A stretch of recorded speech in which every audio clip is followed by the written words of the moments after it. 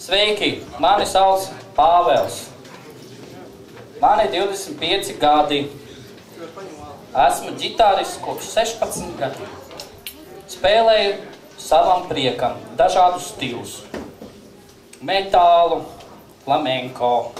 Divus gadus atpakaļ nolēmu pamēģināt paspēlēt grupā. Kā sanāca? Labi. Labi. Šodien parādīsim. Super. Nu, tā ir. Tālāk. Mēģināju spēlēt gan roku, gan metalcore. Pašlaik darbojos Gothic metal grupā. Con Confession. Ā, paldies, redz kā. Nevarēju salasīt. Kā arī dažreiz spēlēju instrumentālos gabals priekš tehnikas attīstīšanas. Ļoti nopietnas cilvēks. Skaidrs.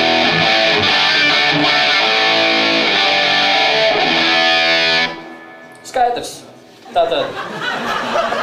Tad jau. Un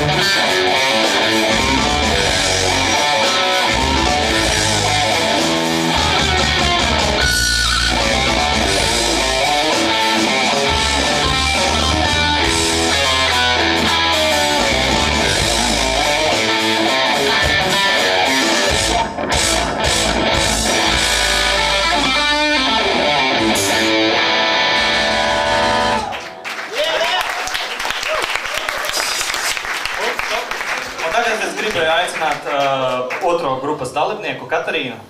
Jā,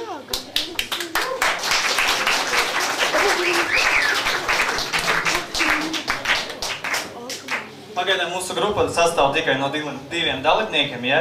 un mana kompjutera, uz kuru es rakstu visus pārējos partijas, bungas, basu, un ģitāras, klavieres, visu. Tad mēs nospēlēsim, nospēlēsim savu pirmo dziesmu, kuru nav spēlēta nekur, pašsacerēta, ja? un viņa sauc Your Sins. Gatava? Jā. Tātad otrais teiks.